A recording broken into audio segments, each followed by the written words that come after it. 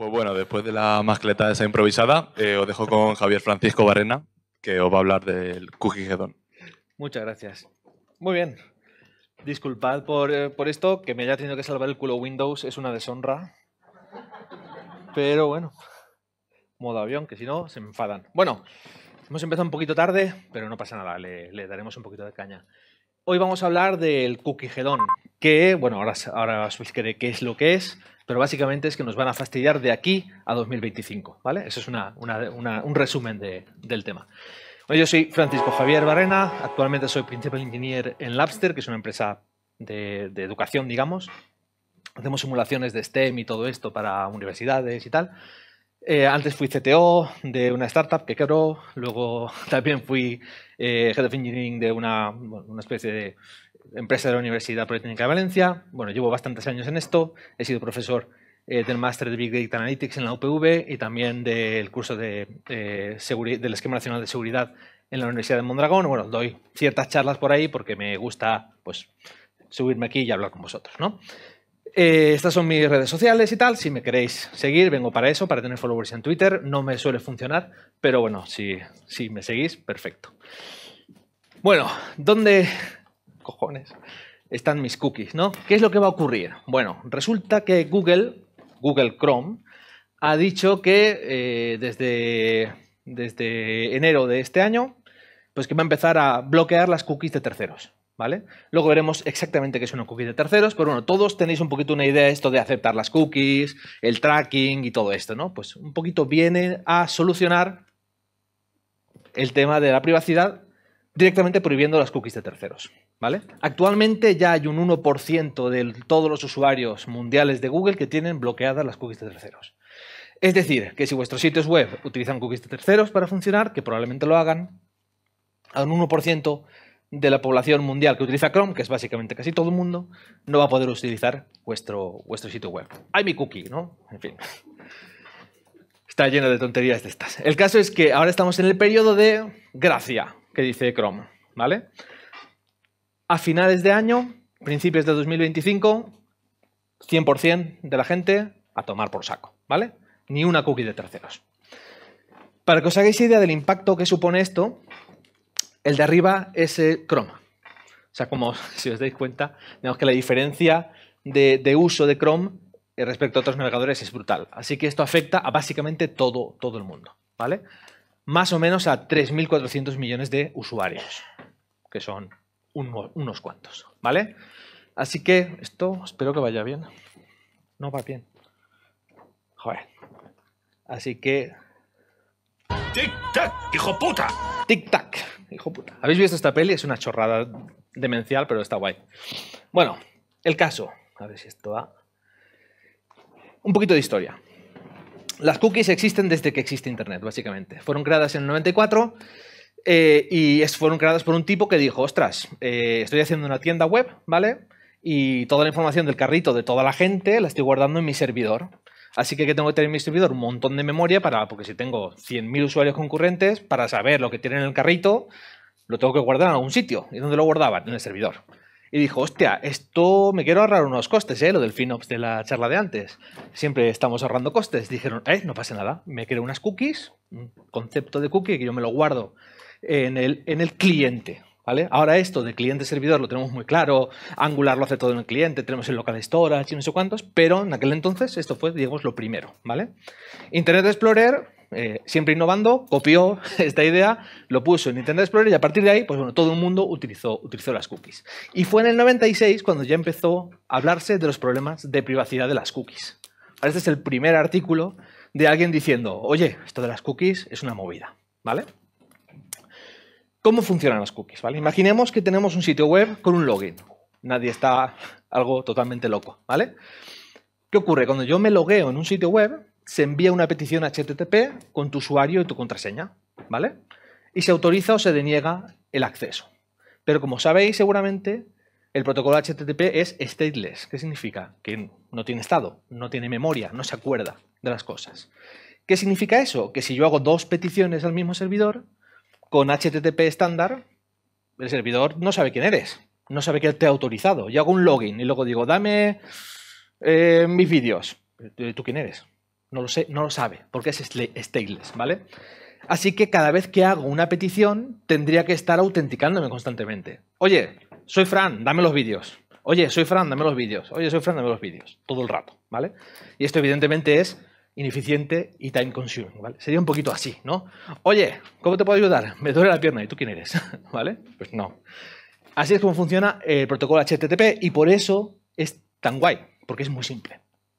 ¿Vale? Aquí es donde entran las cookies, ¿vale? Siguiendo el mismo flujo de antes, ¿qué pasa si además de autorizarte, el servidor te manda una cookie y te dice, oye, vale, te has autorizado, este es tu token, guárdatelo, ¿vale? Esa cookie se guarda en mi ordenador y cuando vuelvo a hacer una llamada al mismo servidor, automáticamente nadie la añade, el programador no coge y dice, voy a mandar esta cookie, no tiene que acordarse. ¿Por qué? Porque es el navegador el que automáticamente coge tu dominio, mira las cookies que tiene tu dominio y las manda. ¿Vale? De modo que yo ya me acuerdo, el protocolo HTTP ya no es stateless. Ya me acuerdo de quién eres. ¿Por qué? Porque tengo una cosa como esto. Un auth token, por ejemplo, que tiene un churro, ese churro lo recibe el servidor, lo decodifica de alguna manera y sabe que eres tú. ¿Vale? Eso es como funciona una cookie de autorización. Hay más cookies que guardan más cosas, ¿vale? Pero estas son las cookies que realmente nos interesan, porque las cookies de tracking me dan igual. Esas pueden fallar. Pero la que no quiero que falle es mi cookie de verdad, la que yo estoy utilizando por ahí, ¿vale? Así que bueno, no son el demonio. Es un mecanismo que me permite meterle estado a un protocolo que por diseño y por definición es, este- es stateless, ¿vale? Las cookies además ya tienen limitaciones que para mucha gente eran suficientes, pero resulta que no lo son. Por ejemplo, el número máximo de cookies que yo puedo almacenar. En Safari puedo almacenar 600 cookies. En Chrome 180. En Firefox 150 y en Opera 60. O en Edge. En Edge. Es Chrome. ¿Vale? Así que estaba en una retaíla de chistes sobre Edge. ¿Vale? Cuando...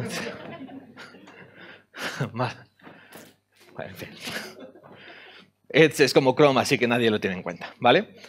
Tengo una limitación de espacio, ¿vale? De número de cookies. Yo puedo guardar un número máximo de cookies. Y también tengo una, una limitación de tamaño de, de cada cookie. Por cada una de esas cookies yo puedo guardar como máximo 4096 bytes de datos, que es bastante poco, ¿vale? Pero claro, si tengo 600 cookies en Safari, pues 600 por 4096 bytes puedo guardar. No es demasiada información, pero es suficiente, ¿vale? Pero además lo más importante, las cookies están acotadas al dominio, como os he comentado antes. Yo cojo una cookie, me llega una cookie del servidor, la guardo en mi, en mi navegador y la próxima vez que hago una llamada a ese mismo servidor, esa cookie se va a insertar automáticamente. Yo no tengo que hacer nada, ¿vale? ¿Qué significa? Que si yo creo una cookie en fjbarrena.dev, mi blog, por cierto, las cookies que yo he guardado ahí solo se van a adjuntar en el dominio fjbarrena.dev, ¿no? ¿Vale? ¿Y cuál es el problema entonces de las third party cookies? ¿No? Si yo cojo y la cookie que yo seteo en mi navegador, en mi dominio, solo vale para mi dominio, ¿cómo me traquean? Bueno, es que hay truquis, ¿vale? Es cierto que una cookie de un dominio no puede ser leído por otro dominio. Yo sabía que iba a necesitar el agua, así que...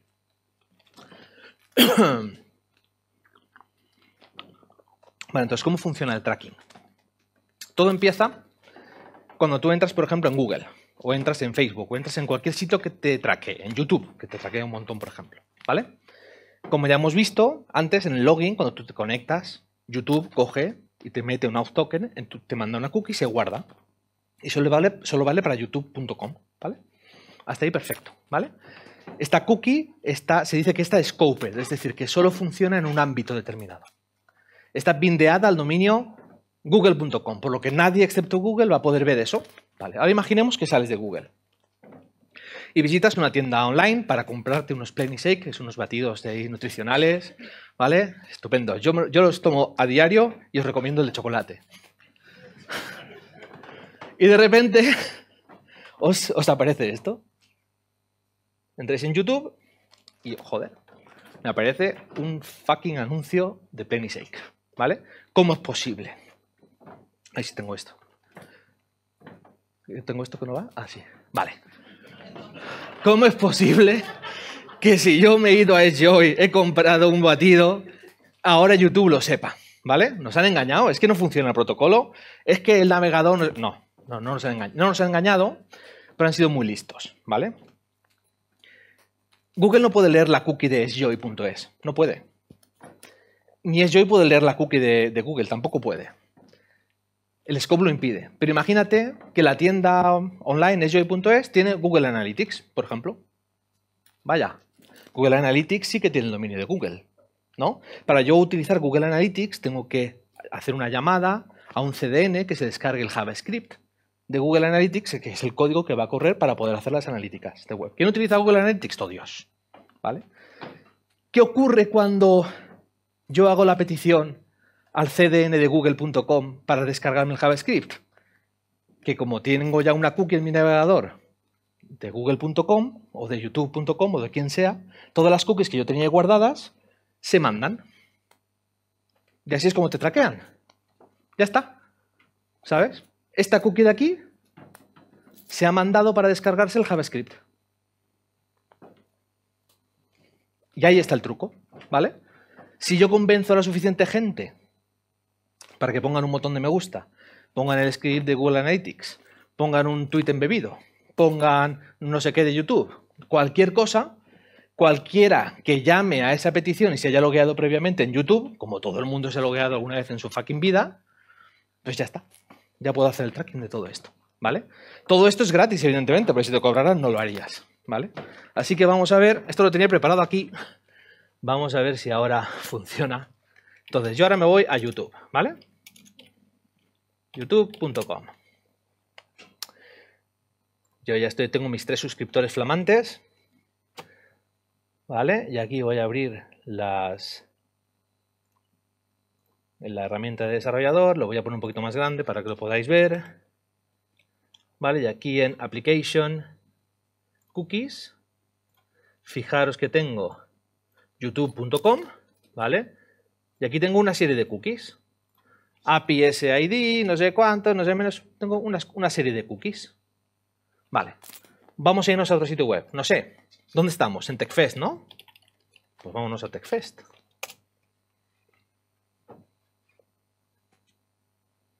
¿Vale?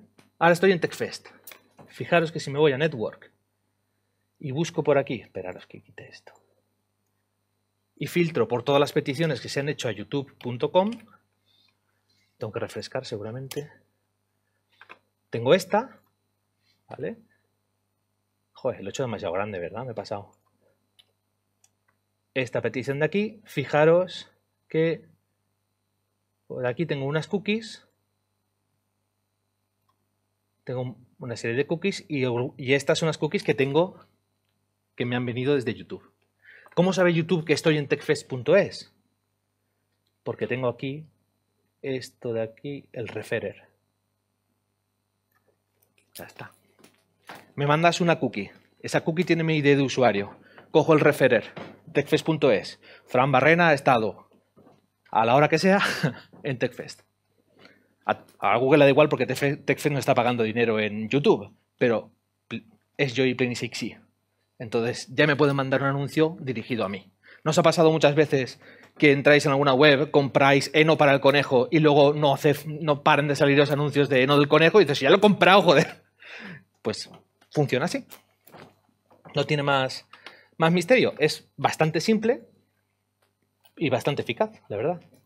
Sobre esto se han construido imperios de, publicidad y de dinero. ¿vale? ¿Cómo de grave es esto? Bueno, por ejemplo, un pequeño juego. Tengo estas cuatro empresas. ¿Cuál creéis que usa 100 cookies? 100 cookies, ¿eh? Que alguien diga una. LinkedIn. Todos pensamos primero en LinkedIn. New York Times, podría ser. CNET.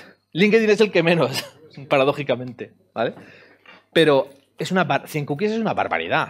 O sea, claro, CNET tiene acuerdos de colaboración con un montón de empresas de marketing y cada empresa tiene su cookie. Entonces, cuando yo veo ya una, noticia de CNET o cuando yo reproduzco una canción en la FM, cuando yo cualquier cosa, todo el mundo sabe si estoy escuchando Lady Gaga, si cualquier cosa, ¿vale?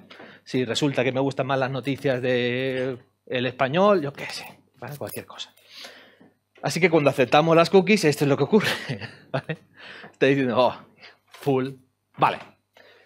Esto es una third party cookie. Es una cookie que se manda sin que tú lo sepas automáticamente desde un dominio que no es el suyo a otro dominio. Es decir, si yo entro en techfest.es, solo deberían mandarse las cookies que, que sean de TechFest, no que sean de TechFest y de todas las cosas que cargue TechFest. ¿vale? Así que una third party cookie es una especie de cookie parásito. No tenemos que confundirla con una first party cookie. Una first party cookie es yo soy TechFest, yo he seteado una cookie y esa cookie tiene que mandarse en todas las peticiones porque para eso está. ¿Vale? Eso es una clase, una cookie de, de primera clase. Las third party cookies son de, tercera clase. Entonces, Chrome va a bloquear las third party. Pero vamos a ver, ¿cómo va? Si Chrome el negocio de Google es básicamente este. ¿Vale? ¿Significa eso que Chrome es un browser privado?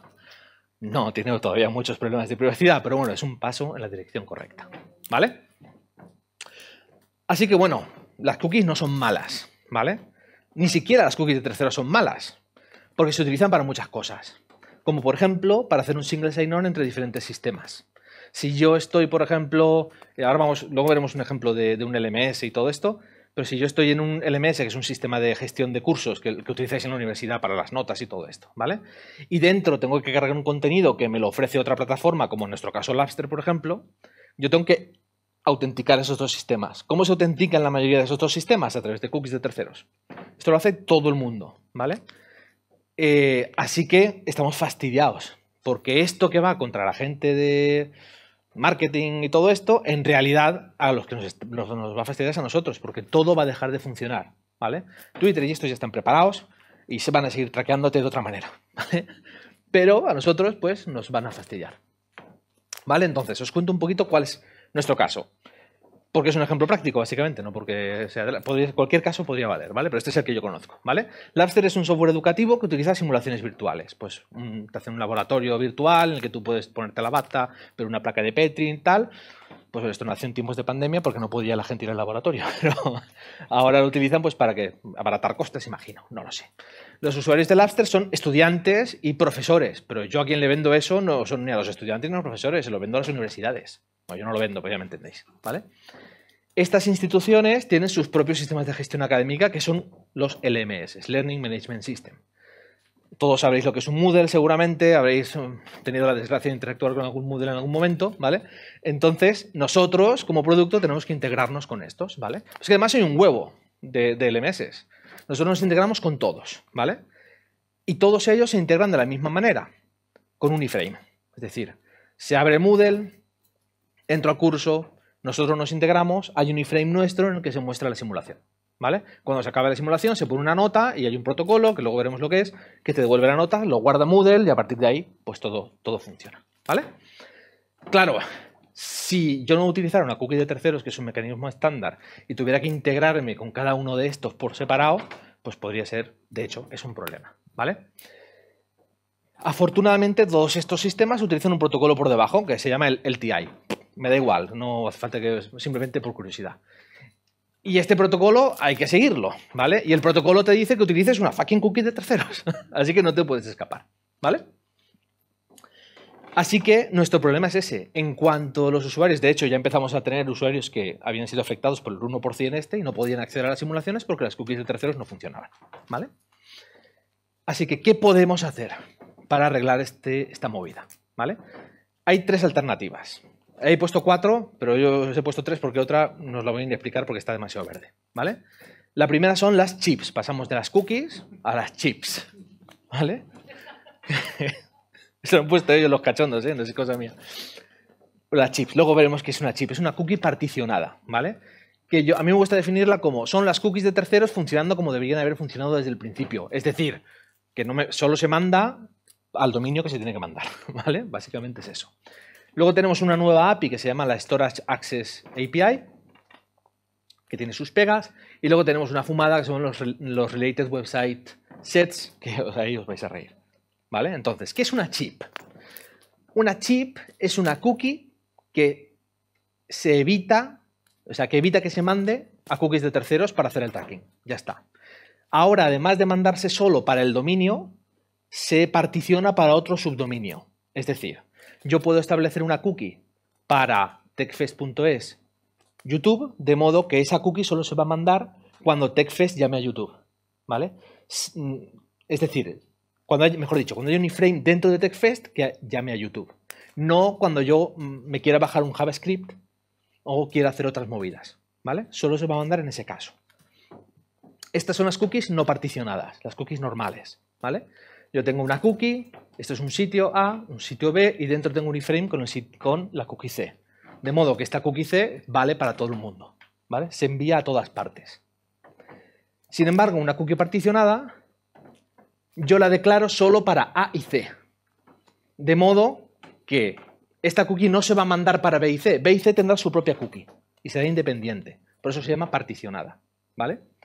Esto es fenomenal porque si conseguimos implementar esto, mi funcionamiento va a ser el mismo. Porque para una cookie de autenticación o cualquier cookie que sea third party cookie, pero en realidad es una first party cookie, eh, me va a funcionar, ¿vale?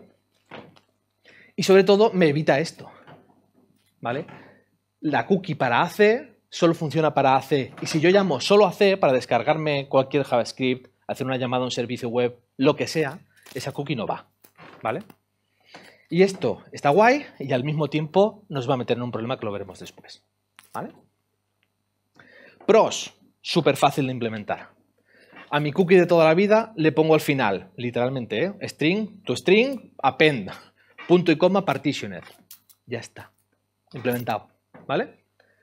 Los usuarios no se van a dar cuenta del cambio, no va, no- va a seguir funcionando todo, ¿vale?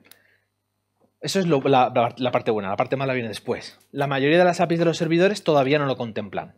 Yo me voy a Express, intento ge- generar una cookie con la API de Express y no hay manera de meterle un partitioner. Tengo que hacer la guarrada de transformarlo a string y hacerle una append al final. Pero eso llegará, llegará un momento en el que los, los servidores se pondrán las pilas con esto, ¿vale? No es una solución completa, porque si se abre una pestaña nueva, si yo abro una pestaña nueva de A, la cookie no va, porque está particionada solo a A y C, ¿vale? Entonces, si yo, por ejemplo, dentro, mejor dicho, tengo A y C, ya abro una, dentro de C abro una pestaña nueva con un contenido de C, la cookie no va detrás, ¿vale? Así que tiene sus problemas que los veremos después. Lo veremos con un ejemplo práctico, si nos da tiempo, que espero que sí, ¿vale? Y lo otro malo es que solo lo soportan Chrome y Edge. Bueno, Edge lo soporta porque lo soporta Chrome, pues total, bebe de, de- de Chrome. Y Opera, ¿vale? Firefox no lo soporta todavía, pero lo que hace es ignorarla.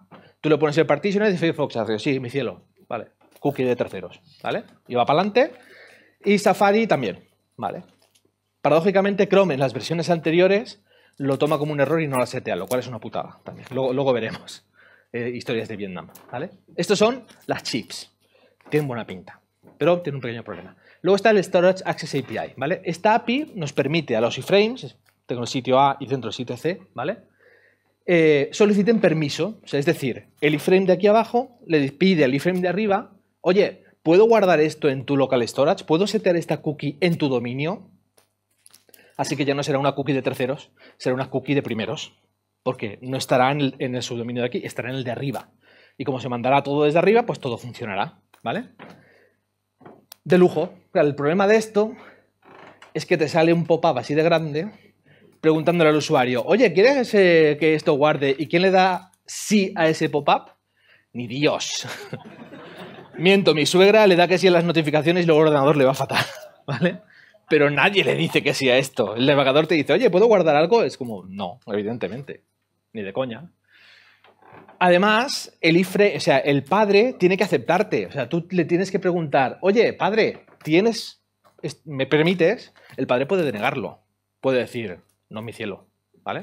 No vas a entrar. Entonces, es una solución que, bueno, mm, necesito de que la gente confíe en mí, ¿vale? Y si yo me integro con 50 LMS, necesito que todos los LMS me permitan hacer esta movida. Y si me tengo que poner de acuerdo con 50 LMS, no voy a acabar en el año. Y al año el 100% no van a tener cookies, así que no puedo. Bajo mi punto de vista, no puedo utilizar esta, esta solución, de momento, ¿vale? Cuando quiten el mensajito de arriba, igual sí, ¿vale? Y la tercera opción, que es una fumada, es, vale, yo soy Chrome, ¿ok? yo prohíbo las third party cookies. Ah, si me mandas, pero si me mandas un JSON con todos los sitios con los que tú te vas a relacionar, puedo en mi navegador y solo en mi navegador hacer una excepción y esas third party cookies permitirlas. ¿Vale? Esto es una maranada por una parte. Dependes de Chrome por otra parte. Si mañana Chrome te quiere, te quiere cobrar por meter esto, apagar, apagar. Creo que tengo algo de por ahí. Bueno, sí, tal, de qué, apagar.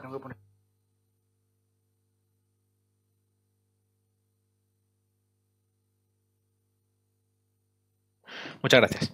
Hostia, sí que se nota, ¿eh? Ya estaba yo gritando un montón. Vale, entonces esta solución no tiene, para mí no tiene mucho sentido, ¿vale? Eh, apagar, apagar, bueno, en fin, ya sabéis, mis tonterías. ¿Qué solución escogería yo? ¿Vale? ¿Qué solución hemos escogido en Lapster? Nosotros hemos tirado por las chips, ¿vale? ¿Por qué? Porque son lo más transparentes para el usuario, no se va a enterar. Eh, nos dan más control del resultado final porque no tengo que ponerme de acuerdo con nadie, ¿vale? Simplemente yo hago mi movida y todo el mundo va a funcionar. Eh, como las chips son un estándar, al final Firefox y Safari van a acabar implementándolo. Por lo tanto, ahora mismo eh, es verdad que no, funcionan, no funcionan. Las, las partitioned cookies se toman como third party cookies en Safari y en Firefox, pero están admitidas, o sea, Safari y Firefox no van a prohibirlas, solo las prohíbe Chrome. Pues bueno, no es un problema de momento y como lo van a implementar en el futuro, bueno, pues no es, no es un problema en realidad, ¿vale? Pero como os dije antes, las chips no son una solución completa, ¿vale? Así que yo pensaba que me iba a poder librar de programar por una, vez en mi puñetera vida y decir, ah, partitioner ya funcionar, y resulta que no, que no, no funciona, ¿vale? ¿Por qué no es una solución completa? Porque cuando yo abra una, una, nueva ventana o una nueva pestaña, mis cookies se van al guano. ¿Vale? Todas. Así que necesitamos otro concepto que es un concepto de el concepto de one time token, ¿vale? ¿Qué es un one time token? Es un token temporal de vida corta que autoriza un usuario, ¿vale? Esta autorización puede ser de varias maneras, pero ¿por qué no hacerlo con una cookie. Ya que estamos, podemos hacerlo pues, con una cookie. Lo podemos entender como un token temporal que me permite intercambiar ese token por una first party cookie, ¿vale? Yo mando un token y la respuesta es una cookie, pero de first party, así que no tengo ningún problema. ¿Vale? Esto es ultra sencillo de implementar. Solo necesitas dos endpoints. Uno, que reciba el usuario autenticado y te devuelva el token, ¿vale? Tiene que ser un usuario autenticado porque si no, no, voy a poder luego intercambiarlo, no sabré qué usuario serías. Y luego otro que reciba ese one-time token y me devuelva una cookie. ¿Vale? Y este endpoint tiene que ser público, porque claro, cuando me manden ese one-time token, el usuario no está autorizado. ¿Por qué? Porque he abierto una pestaña nueva, esta pestaña nueva no tiene cookies, el, protocolo HTTP es stateless, así que no tengo ni puñetera idea de quién eres, ¿vale? Solo tengo este token, ¿vale? Este es el endpoint que, que hicimos, que hice, o sea, aquí no intervino nada más que yo, ¿vale? Para crear un one-time token. Así que fijaros, no tiene parámetros. Esto lee la cookie que, trae por debajo y te genera un token, ¿vale? Este token es un string, que es un, UID, ¿vale? Eh, cuando, se ha, cuando se ha creado, si se ha consumido o no, y el eh, token JWT de, de, autorización original, ¿vale? Porque ahí yo me guardo la región de donde viene el usuario, como Labster es tenemos región en Australia, no sé qué, tengo que redirigirlo a los servidores que toca, entonces aquí meto los metadatos que yo necesito saber para cuando me, devuelva, ¿vale? Y este es el endpoint que usa ese token. Entonces, yo aquí simplemente le, enchufo el token. Cuando recibo, este es un eh, endpoint no autorizado, ¿vale? O sea, para usuarios anónimos. Con ese token, yo me voy a la base de datos, luego hablaremos de la implementación de esto, busco ese token, como tengo el JWT original por dentro, sé qué usuario es, de qué región viene, puedo saber pues, todos los metadatos que, necesite. Y ya está, ¿vale? ¿Cómo puedo guardar los, los OTTs? Los puedo guardar en la base de datos, pero yo os recomiendo que si tenéis un Redis o algo parecido lo utilicéis, ¿vale? ¿Por qué? Porque Redis ya tiene movidas como esta, ¿vale? Yo puedo setear un token y le puedo poner un tiempo de expiración. Entonces no tengo que preocuparme después de ir buscando cosas que estén expiradas. Mi tiempo de expiración son 15 segundos. ¿vale? Los tokens son muy, muy cortos. Genero un token, lo consumo. Eso funciona así. Pero si tenéis otras necesidades, podéis ponerlo de dos minutos, como vosotros veáis, ¿vale?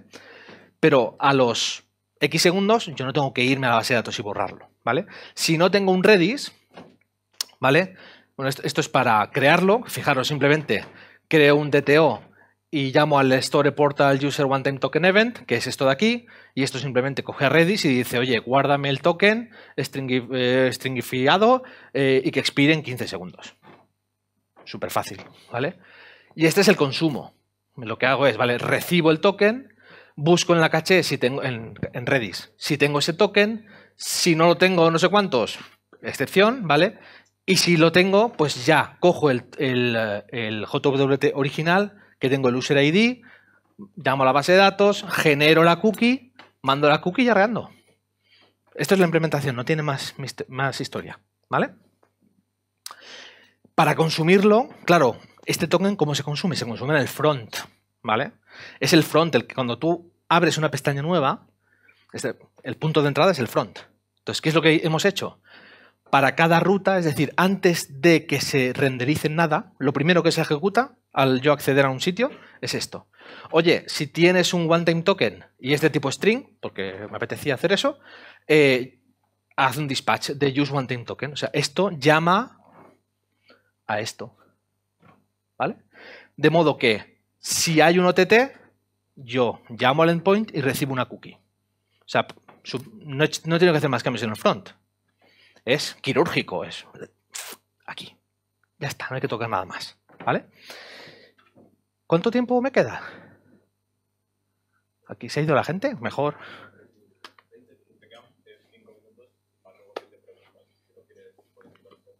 Me da, me da, me da, me vale, me vale. Me sobran seis. Vale, vamos a ver. Lo que pasa es que aquí tengo que acordarme. Vamos a ver esto cómo funciona en la realidad, ¿vale? Dame un segundito, ya que tenemos un poco de tiempo. A ver. Lo que voy a hacer ahora es entrar en Canvas API, que es un LMS, ¿vale? Labster.instructor. Instructure. Ahora me tendré que acordar la contraseña, ya verás. A ver, F barrena, rey, labster.com y la contraseña era esta. Oh, pum, vale. Perfecto. Vale. Vamos a... Esto es un, un LMS, ¿vale? Yo soy un estudiante. Entro en un curso. Me voy a ir a producción para que veáis que no tengo miedo al éxito, ¿vale? Vamos a poner esto más abajo, luego lo haremos más grande, ¿vale? Yo entro en producción, en una simulación, y esto de aquí me carga. Este es el iframe nuestro, y esto ya es nuestro, nuestro contenido, digamos, ¿vale? Aquí me pregunta si personal yo soy de educación superior y me interesa la química, whatever, ¿vale? Y aquí tengo mi, eh, mi, simulación, ¿vale? ¿Cómo ha ido esto? Si nos vamos aquí a Network, no, YouTube no. Uh, uh, creo que era Login, sí. Creo que es este de aquí. Uy. No puedo hacerlo esto. Mira, lo que voy a hacer es mejor sacarlo a una ventana nueva que tendremos más espacio. Vale, fijaros. Cuando se ha llamado a este login de aquí, fijaros lo que ha, lo que ha pasado aquí. Ahora veremos por qué. Esta, esta cookie de aquí, al final veis que tiene este partitioned. ¿vale? Esta es una cookie particionada. ¿Cómo lo podéis ver? Pues aquí en Application, creo que es aquí, ¿vale? Fijaros que tengo aquí Joder, es que también. A ver, lo veis bien, ¿no? Lo puedo hacer un poquito más chico. Vale. El valor nos da igual, ¿vale? Porque es un token tofeo. Lo que me interesa que veáis. Ostras, este ratón, tío. No, me- quiero quejar del ratón, ¿eh? que encima que me ha funcionado, me ha salvado la vida Windows. Fijaros que esta cookie funciona para el dominio mylabster.com, pero solo cuando estás dentro de instructor.com. Está particionada para esa. Fijaros estas dos cookies de aquí. ¿Veis esta, esta I de aquí? Lo que dice es que esto está bloqueado eh, debido a mis preferencias de usuario. ¿Por qué? Porque yo tengo las third party cookies bloqueadas en el navegador. Esto es lo que le pasará al usuario en 2025, sin que tenga que cambiar nada. ¿Vale? De modo que si yo no tuviera la cookie esa de ahí arriba, estas de aquí abajo no me valdrían. ¿Vale? Esto ha intentado setearlas y no lo ha hecho. Solo que me está avisando, me está diciendo, oye, estas dos lo has intentado, pero no ha funcionado. ¿Vale? ¿Por qué ha intentado setear esas dos? Porque ocurre una cosa súper cachonda, terrible, con Chrome, ¿vale? En general con las, APIs de los... eh, la API de las cookies. Fijaros que yo en realidad estoy seteando tres cookies, ¿vale? Una que se llama... Fijaros que la clave para las tres es la ID. Pero estas dos de aquí, tengo una que le pone un maxage-1, otra que le pone un maxage-1 y es particionada, y esta que es la cookie de verdad. Estas dos las pongo para borrar las cookies antiguas. ¿Por qué? Porque las API, la API de las cookies es una guarrada. Y si tú le dices, oye, bórrame todas las que tengan Labster ID como clave, ¿no? Esa es la clave de tu, de tu cookie. Le tienes, le tienes que decir, bórrame una que tenga, que se llame ID, que sea de este dominio, que tenga este path, que expire en esta fecha, que sea HTTP only, que sea secure y que sea same side down. Le tienes que decir todo. Así que el usuario que me, que me si viene un usuario y yo le activo esto y resulta que no le borro las cookies viejas, yo mando un montón de cookies y me, me puedo hacer la picha un lío. ¿vale? Entonces, por eso aquí, primero nos cargamos, además se ejecutan por orden. Primero nos cargamos las dos y después seteamos la, la nueva. De modo que yo siempre estoy, digamos, generando un entorno nuevo para los usuarios cada vez. ¿Y por qué hago esto? Porque cuando activé esta feature, esto la activamos hace mes y medio, la activé y yo como desarrollaba, pues me venía aquí y le decía vaciar la caché y volver a cargar de manera forzada. ¿Qué hace eso? Borrar las cookies. Vale, perfecto. ¿Qué ocurre en la realidad? Que nadie borra las cookies. Entonces yo lo puse, lo puse en producción y instantáneamente al ponerlo en producción me llegan, no os exagero, 50.000 reportes de que los estudiantes no podían hacer sus simulaciones. ¿Por qué? Porque no había borrado el contexto, estaba una subida a producción gloriosa, ¿vale? Menos mal que pues, lo, damos de, lo damos de vuelta para atrás, no sé cuántos, tuvimos algún problemilla, pero lo, pudimos tirar para atrás. Pero bueno, eh, o sea que lo, lo, malo y lo bueno de las cookies es que si funciona, funcionará para todos y seréis unos héroes. Y si no funciona, no funcionará para nadie y seréis unos villanos, ¿vale? Muy bien.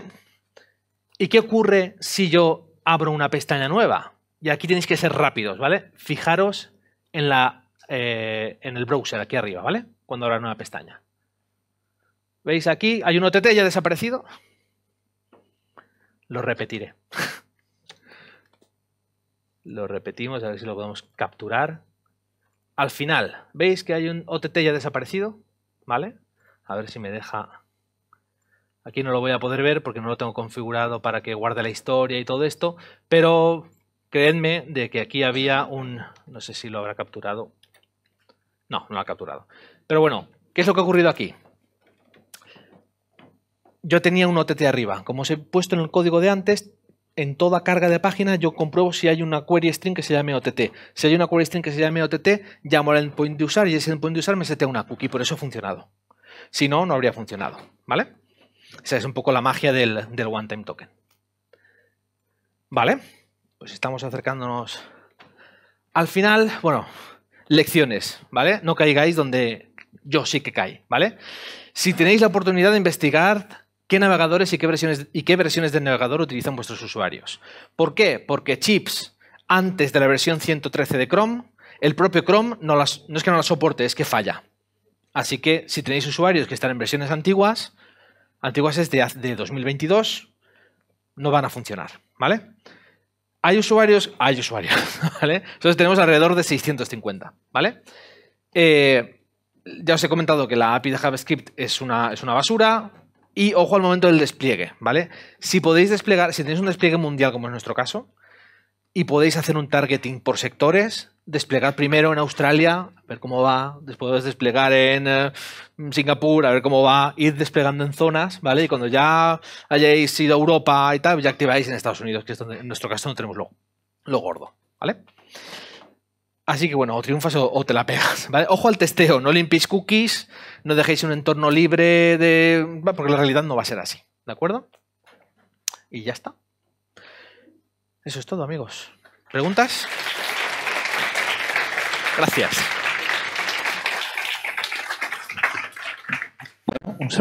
Vale. Eh, muchas gracias, Fran, por, por tu charla. Eh, no sé si tenéis alguna pregunta. Ahí no sé qué hacer. Bueno, Principio sí. de la realidad.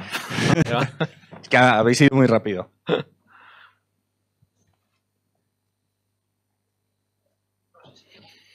En la empresa me conocen como Cookie Man, por cierto.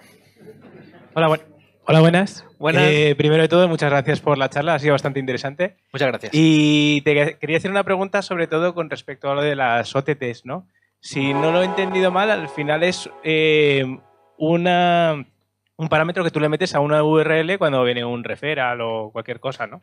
Sí. Entonces, ¿no hay cierta preocupación para exceder un tamaño máximo? Porque al final es un string que puede ser...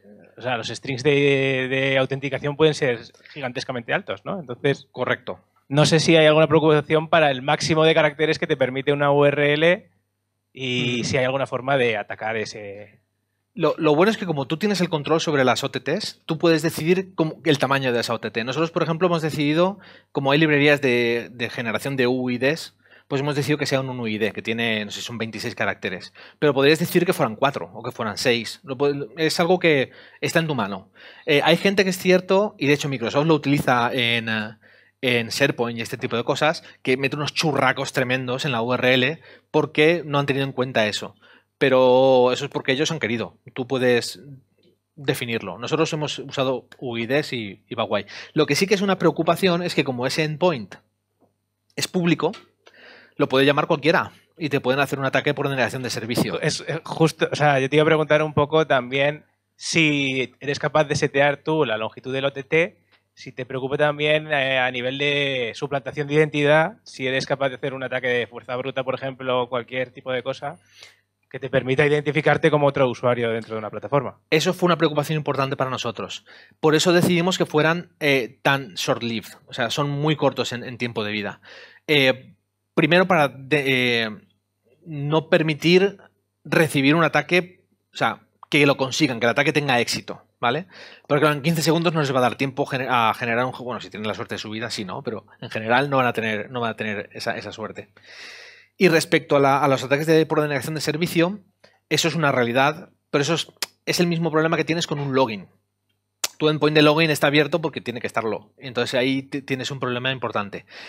Pero si lo programas bien, que espero que lo hayas hecho bien, eh, claro, al final es una query muy rápida. Es llamo, llamo a Redis, Redis es una caché, es súper rápido, entonces no tiene demasiado, no hay un cálculo ahí detrás, ¿sabes? Es simplemente un exchange, consulto, devuelvo y ya está. Pero, a ver, si quieren tumbártelo, te lo van a tumbar. Pero antes también.